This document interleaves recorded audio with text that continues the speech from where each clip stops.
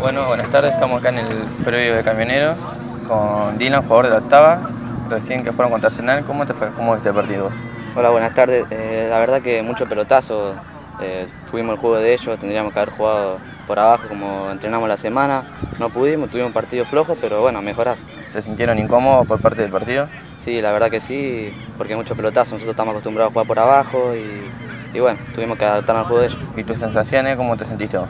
No, yo me sentí bien, por ahí el primer tiempo no la toqué mucho, pero el segundo cuando la tuve, la verdad que bastante bien. ¿Y cómo ves esto en cara a lo que se viene? ¿Cómo le sirve el aprendizaje? Sí, hay, hay aprendizaje, hay que aprender de los errores y hay que entrenar la semana para mejorarlo.